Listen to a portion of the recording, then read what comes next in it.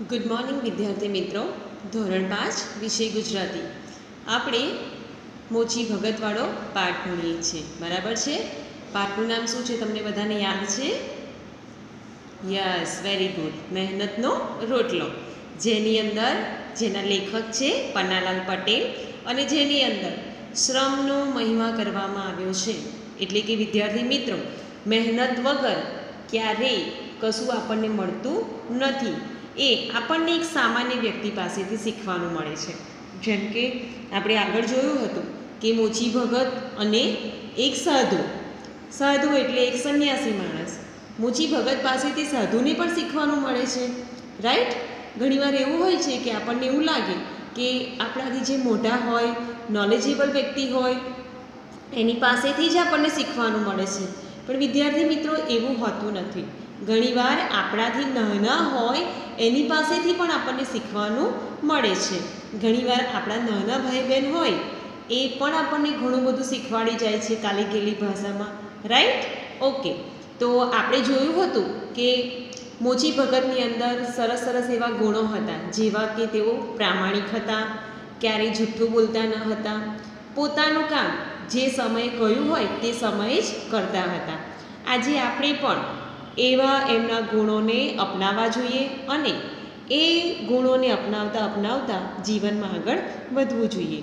આપણે જે પાઠ ભણીએ છીએ સ્કૂલ દરમિયાન, આપણા શાળા દરમિયાન, આપણા જીવનમાં, આપણા ઘરમાં, તો ઘણા બધા પાઠો આપણને આપણા વડીલો પાસેથી, આપણા નાના ભાઈ બહેન પાસેથી શીખવા મળે છે અને બુકની અંદર પણ જે કંઈ પાઠ આપ્યો હોય છે, એ પણ આપણને જીવનમાં ઘણીવાર કામમાં આવે છે. જેમ કે જો, આપણે મોચી ભગતનો એક ગુણ અપનાવીએ, જેમ કે પ્રામાણિક બનવું, જુઠ્ઠું ક્યારેય ન બોલવું, એ તમને જીવનમાં ઘણી બધી ઊંચાઈઓ સુધી લઈ જાય છે. તો, સાધુ ભગતને વિશ્વાસ સાધુને વિશ્વાસ આવતો નથી કે મોચી ભગત મારું કામ કરશે કે નહીં. બરાબર છે? એટલે એ શું કરે છે? ત્રણ ચાર આંટા મારી આવે છે કે મારા પગરખા રેડી થયા હશે કે નહીં? તે મારું કામ કરશે કે નહીં? પણ ઓછી ભગત શું કહે છે કે તમે નાહકના ધક્કા ખાઓ છો. તમે જે સમયે મેં તમને કહ્યું છે, એ સમયે તમને તમારા પગરખા મળી જશે. એટલે આપણે જોયું હતું કે તે સમયે સાંજના સમયે સાધુ આવ્યા ત્યારે પગરખા બિલકુલ રેડી હતા.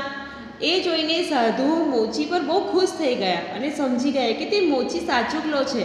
સાચુકલો મીન્સ ખરેખર એ સાચું બોલનારો વ્યક્તિ છે. તે ક્યારેય જૂઠું બોલતો નથી. હવે આપણે આગળ જોવાના છીએ પાઠને. જેમ કે, સાધુએ તેને બે રૂપિયા આપ્યા. પહેલાં આપણે વાંચ્યું હતું કે બધા એમને શું કહેતા હતા? પાઠમાં આપણે આગળ સમજૂતી મેળવી હતી કે બે રૂપિયા પગરખાના કે, પછી ભાવતાલ કરી અને પછી કે સારું, ચલો ને દોઢ રૂપિયો આપજો. પણ અહીંયા કહે છે કે એણે સીધા દોઢ રૂપિયો જ કીધો અને જૂઠું નહીં બોલવાનું એટલે કે જે લેવાના છે એ જ પૈસા મેં ગયા છે? તો સાધુએ પછી શું કર્યું એને? બે રૂપિયા આપ્યા. મોચી પાસે છૂટા પૈસા ન હતા. તે પૈસા લઈને ઊભો થયો. હવે વિદ્યાર્થી મિત્રો, તે પૈસા લઈને કેમ ઊભો થયો હશે? ચલો જોઈએ આગળ. તેણે સાધુને કહ્યું, જરાક ઊભા રહો મહારાજ. હું સામેની દુકાનેથી પરચુરણ લઈ આવું. ઘણીવાર આપણે પણ કોઈ વસ્તુ ખરીદવા માટે ગયા હોય અને દુકાનદાર પાસે ના હોય, તો એ બાજુવાળાની પાસેથી આપણને છૂટા પૈસા લાવી આપે છે, બરાબર? અહીંયા પણ મોચી ભગત શું કહે છે કે ઊભા રહો, સામેવાળાની દુકાન પાસે જઈ, હું પરચુરણ લઈ આવું છું. સાધુએ કહ્યું, રહેવા દો ભગત, એટલા પૈસા નહીં, આપણા તરફથી તમાકુ પીજો. મોચીએ કહ્યું, હું તમાકુ પીતો નથી મહારાજ. જુઓ, એક બીજો એક ગુણ પણ આપણને સરસ જોવા મળે છે. કે મોચી ભગત રાત દિવસ મહેનત કરે છે, પણ એમને વ્યસન છે નહીં. ઘણીવાર આપણે દુકાનદારોને જોઈએ છે કે મોઢાની અંદર કોઈ પડીકી ખાતા હોય કે પછી મસાલા ખાતા હોય, મસાલામાં મોં મોં ભરેલું હોય એમનું. પણ અહીંયા આપણને જોવા મળે છે કે મોચી ભગત ખૂબ મહેનત કરે છે. પણ કહે છે કે હું તમાકુ મારે કોઈ વ્યસન નથી મહારાજ. સાધુ કહે છે કે પચાસ પૈસા વધે છે તો તમે રહેવા દો. પણ મોચી ભગત કહે છે કે હું વ્યસન કરતો જ નથી. તો આપણા તરફથી પગરખા સીવવા માટેની દોરી લાવજો. હવે ચપ્પલ સીવવા માટે જે દોરી જોઈએ, એ કહે છે કે મારા તરફથી તમે લાવજો. હવે મોચી ભગત શું જવાબ આપે છે? સુંદર જવાબ છે, સાંભળજો હો. ના મહારાજ, હરામનો પૈસો મને ન ખમે, ખપે. હરામનો પૈસો, એટલે કે મહેનત વગરનો પૈસો મને ના ખપે, મને ઉપયોગમાં આવે જ નહીં. મોચી સામેની દુકાને પરચુરણ લેવા ગયો.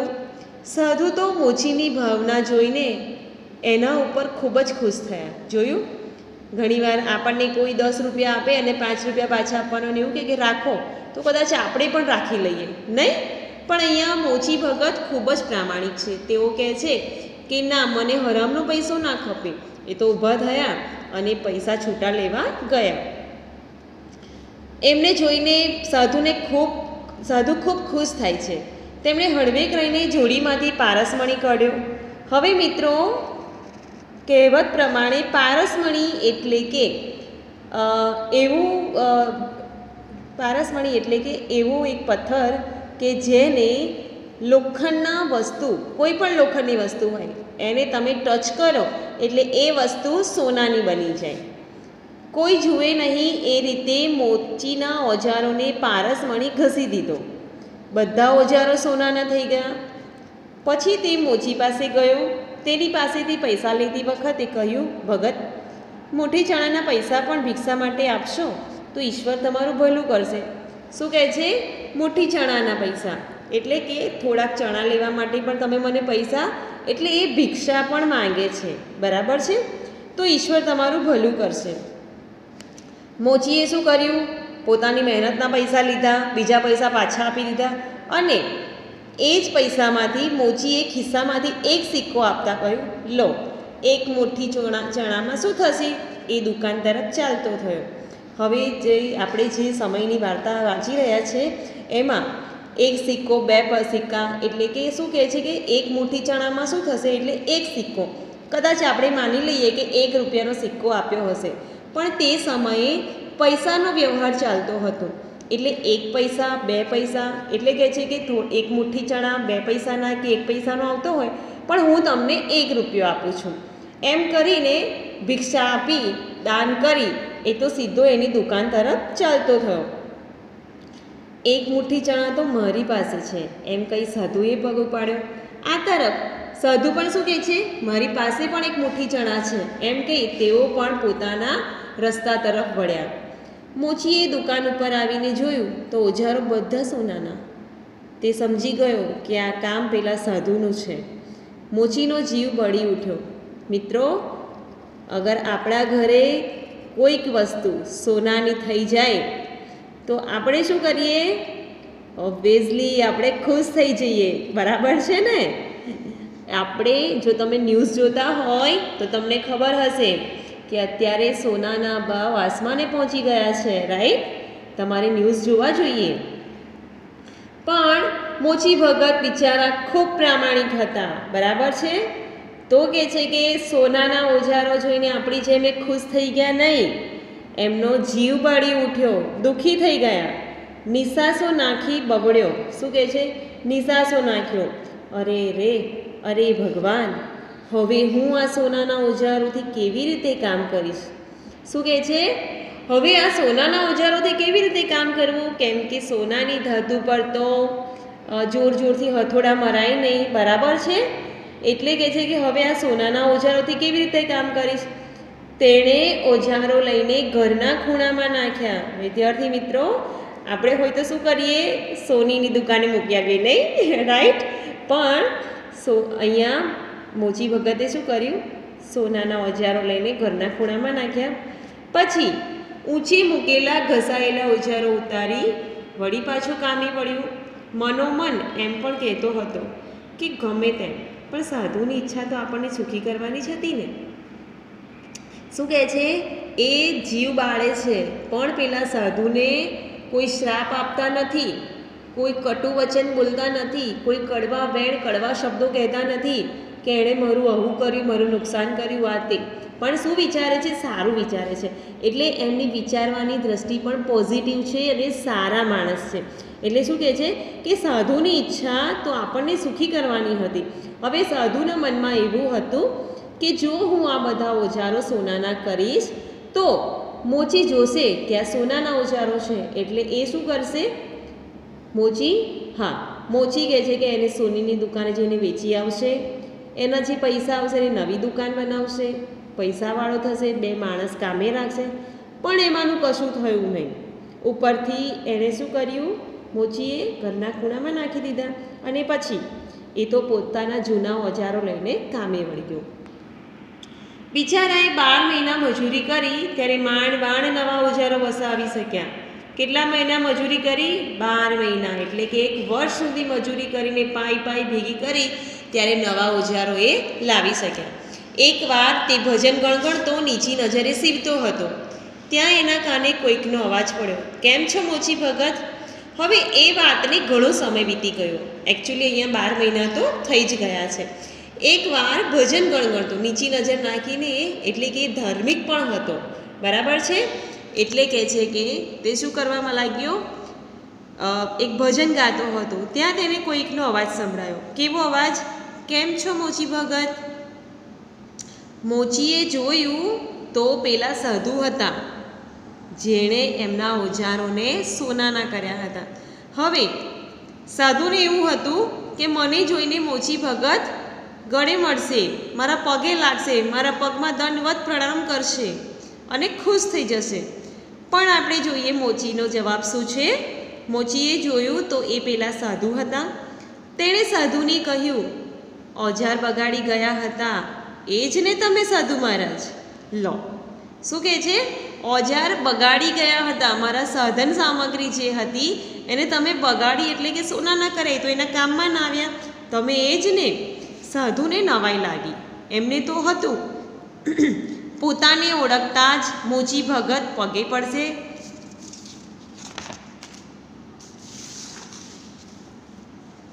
માન પાન કરશે. અને ઘણો બધો આભાર માનશે પણ એને બદલે શું થયું? આ માણસ તો પોતાને ઠપકો આપતો હતો. સાધુને વહેમ પડ્યો. સાધુને શું થાય છે? શક પડે છે. બિચારો સોનાની પિત્તળ ધરી બેઠો લાગે છે. શું કહે છે?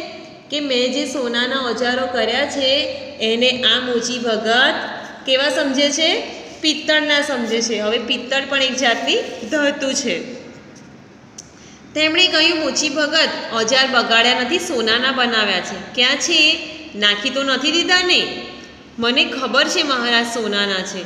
પણ એ સોનું મેં મારા બાવડાના બળથી ઓછું મેળવ્યું છે? બાવડાના બળથી. એટલે કે મેં મહેનત કરી નથી. જે સોનું તમે બનાવીને મને આપ્યું, એ સોનાના ઓજારો માટે મેં મહેનત નથી કરી. આવું મફતનું સોનું શું કરવું છે? એ પડ્યા ખૂણામાં તમે પાછા જ લઈ જાઓ. ઓ. સાધુએ મોચીને શિખામણ આપતા કહ્યું, મોચી ભગત, તમને કશી ગમ નથી. સોનું વેચીને પૈસા બનાવો ને મજા કરો. આ કાચી દુકાનને પાકી કરો, કામ કરનારા માણસો રાખો. બેઠા બેઠા ખાઓ ને લહેર ઉડાવો. શું કહે છે? તમને કશી સમજણ પડતી નથી. તમે કહે છે કે એ ઓજારોને શું કરો? વેચો. એના જે પૈસા આવે એની નવી દુકાન બનાવો. જે કાચી દુકાન છે, એમાં કહે છે, તમે પાકી દુકાન બનાવો. અને એના પૈસા લઈ અને તમે કહે છે કે માણસોને કામે રાખો, બેઠા બેઠા ખાઓ અને લહેર કરો. શું કહે છે? લહેર ઉડાવો. મોચીએ પૂછ્યું, ભગવાને આ હાથ પગ આપ્યા છે, એને શું કરું મહારાજ? જો અત્યારના સમયમાં વિદ્યાર્થી મિત્રો આપણે જોઈએ ને, તો ઘણા બધા લોકોને જો મફતનું મળે ને, તો ક્યારેય પોતાના હાથ પગને હલાવે નહીં. નહીં? રાઈટ ને? ક્યારેય પોતાના પગથી મહેનત કરવાનું વિચારે નહીં. અત્યારે ઘણા બધા ન્યૂઝમાં આપણે જોઈએ છે. ઘણી બધી કિડનેપિંગ થઈ રહી છે. ઘણા બધા લોકોને લોકો મારી નાખે છે. કેમ? પૈસા માટે. કેમ કે એ લોકોને શોર્ટકટમાં પૈસા કમાવા છે. પણ અહીંયા આપણને આ પાઠ દ્વારા એટલી સરસ બોધ મળે છે, એટલું સરસ બોધ કથા આપણને આપવામાં આવી છે કે આ હદ પગ આપ્યા છે એને હું શું કરું? હવે આપણે જાણીએ છીએ કે ઈશ્વરે આપણને હદ પગ મહેનત કરવા માટે આપ્યા છે રાઈટ ઓકે નવાઈ ભરી આંખે સાધુ તો મોચી ભગત સામે તાકી જ રહ્યા. મોચીએ કહ્યું, સાધુ મહારાજ, ભગવાને હાથ પગ કંઈ બેઠા બેઠા ખાવા માટે નહીં, કામ કરવા આપ્યા છે. બરાબર ને? શું કહે છે? કે ભગવાને હાથ પગ તો આપ્યા છે, એ ખાવા માટે બેઠા બેઠા નથી આપ્યા, એ આપણને કામ કરીને ખાવા માટે આપ્યા છે. આ સાંભળી સાધુ બોલ્યા, મોચી ભગત, સાચી વાત છે. ભગવાને કામ કરવા જ હાથ પગ આપ્યા છે. હવેથી હું પણ સાથે કમાઈને ખાઈશ ને તમારા જેવો જીવનનો સાચો આનંદ મેળવીશ. જોયું? જ્યારે આપણે ખૂબ મહેનત કરીએ છીએ ને, ત્યારે સહજપણે થાકી જવાય છે. જુઓ, એનું તમને એનું તમને એક એક્ઝામ્પલ જોઈતું હોય ને, તો તમે તમારા ડેડીને જોજો. કેવા સહજપણે આવે એટલે થાકી જાય છે? થાકી જાય છે ને? કેમ કે તેઓ મહેનત કરે છે. રાઈટ હવે આપણે જ્યારે મહેનત કરીએ છીએ, ત્યારે આપણે જીવનનો સાચો આનંદ માણી શકીએ છીએ. ફ્રીમાં આવેલા પૈસા તો હંમેશા દવાખાનામાં જ જાય છે. જોયું છે ને? ઘણા બધા મોટા લોકોને આપણે જોઈએ છે કે હોસ્પિટલમાં વારંવાર એડમિટ થવું પડે છે. ઘણી બધી ગોળીઓ, ટેબ્લેટ ચાલતી હોય છે. જેમ કે બીપીની, ડાયાબિટીસની, બરાબર છે? એસિડિટી, ઘણા બધા રોગોથી એ લોકો પીડાતા હોય છે. પણ જે લોકો ખૂબ મહેનત કરે છે, તેઓ ખરેખર જીવનનો સાચો આનંદ માણે છે. રાઈટ? ઓકે. તો સાધુ કોઈ ઊંડા વિચારમાં પડી ગયા હતા. અહીંયા પણ એક સાધુ, એક સંન્યાસી માણસને એક સાંસારિક માણસ પાસેથી શીખવાનું મળે છે. એટલે સાધુ શું કહે છે? હું પણ મારા હાથે કમાઈને ખાઈશ. હવે જે ભિક્ષા માંગીને ખાઉં છું ને, એને બદલે હું કમાઈને ખાઈશ. તેઓ એક ઊંડા વિચારમાં પડી ગયા. પોતાને, પોતાના કામે વળતા મોચીએ સાધુને પૂછ્યું, કેમ મૂંગા થઈ ગયા? એટલે કે કેમ બોલતા નથી? સાધુએ કહ્યું, હું મૂંગો નથી થઈ ગયો. વિચારમાં પડી ગયો છું. શું વિચારે છે સાધુ, ખબર છે તમને? જુઓ મોચી ભગત કહે છે કે સા વિચારમાં પડી ગયા છો મહારાજ? મેં તમને કહ્યું, એ ખોટું છે? શું વિદ્યાર્થી મિત્રો મોચી ભગત કહે છે, એ ખોટું છે? તમને શું લાગે છે? આન્સરિંગ કરો. તમને શું લાગે છે? કે હાથ પગ ઈશ્વરે આપણને બેઠા બેઠા ખાવા આપ્યા છે કે પછી એનો ઉપયોગ કરી, એનાથી મહેનત કરીને ખાવા માટે આપ્યા છે? રાઈટ આપણને મહેનત કરીને ખાવા માટે આપ્યા છે. તમારી વાત નથી. મારી વાત છે. સાધુએ મોચી સામે ગંભીર ભાવે જોઈને કહ્યું, હું પણ નાનું મોટું તપ તો કરું જ છું. જેમ મારી પાસે સોનું બનાવવાનું સાધન છે, છતાં મેં એનો ઉપયોગ મારી જાત માટે કદીએ કર્યો નથી. ભિક્ષા માગીને પેટનો ખાડો પૂરું છું. પણ આજે તારી આ ભિક્ષાનો જે, આજે તારી આ ભિક્ષાનો જે ગર્વ મારામાં હતો, તે પણ ગાળી નાખ્યો છે. આજથી તમે મારા ગુરુ. શું કહે છે? આજથી તમે મારા ગુરુ કહે છે કે, નાનું મોટું તપ હું કરું છું. એટલે કે સાધુને એમનો, એનો પણ ગર્વ હતો. એટલે કે એક જાતનું અભિમાન હતું કે સોનું બનાવવાનું સાધન મારી પાસે તો હતું, પણ મેં ક્યારેય એનો ઉપયોગ કર્યો નથી. મેં ક્યારેય મારા માટે કોઈ વસ્તુને સોનાની બનાવી અને એનાથી કોઈક સારા મેં કંઈક સારું ખાધું પીધું નથી. મેં હંમેશા શું કર્યું છે? બીજાની ભલાઈ. એટલે કે મેં હંમેશા ભિક્ષા માંગીને મારું પેટનો ખાડો પૂર્યો છે. મેં મારું પેટ, એટલે કે મારું જમવાનું પૂરું પાડ્યું છે.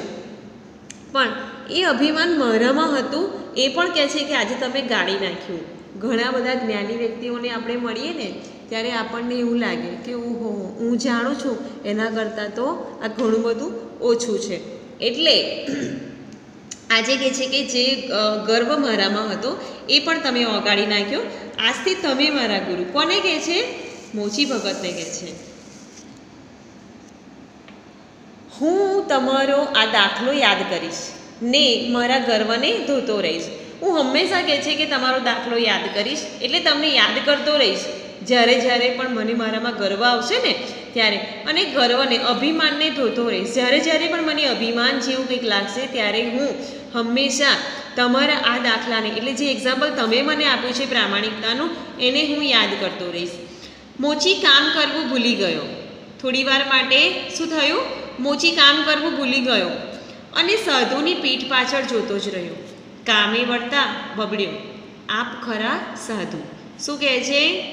આપ ખરા સાધુ. ઘણીવાર એવું હોય છે કે સાધુને એવું લાગે કે હું જ બીજાને શીખવી શકું. હું સંન્યાસી છું એટલે હું બીજાને શીખવી શકું. પણ અહીંયા એક સાધુ નમ્રતા અપનાવે છે, નમ્ર બને છે અને એક સાંસારિક માણસ, એક સામાન્ય માણસ પાસેથી શીખે છે કે નમ્રતા શું છે, પ્રામાણિકતા શું છે, સાચું બોલવું, પોતાના સમય કાર્ય કરવું, એ બધા જ ગુણો પોતાની અંદર વસાવી અને તેઓ જતા હોય છે. એમની પીઠ પાછળ જોતા મોચી ભગત શું કહે છે? આપ ખરા સાધુ. એટલે કે સાધુ હંમેશા કેવો હોવો જોઈએ? નમ્ર. બીજાને શીખવે એવો અને ઘણીવાર બીજા પાસેથી શીખે એવા. તો વિદ્યાર્થી મિત્રો, હું આશા રાખું છું કે આ પાઠમાં તમને મજા પડી હશે, સાંભળવું પણ ગમ્યું હશે અને તેની સમજૂતી પણ તમને સારી રીતે સમજણમાં આવી હશે. તે ઉપરાંત, તમે ઘણા બધા ગુણો મોચી ભગતના, સાધુના તમારા જીવનમાં તમે અપનાવી શકો છો અને તમારા જીવનમાં તમે ખૂબ આગળ વધો એવી હું આશા પણ રાખું છું. હવે આપણે શું કરીશું? શબ્દ સમજૂતી છે અને રૂઢિપ્રયોગોના અર્થ તેમજ ભાષા સજ્જતા વિશે આપણે આવતી વિડીયોમાં તેની સમજૂતી મેળવીશું.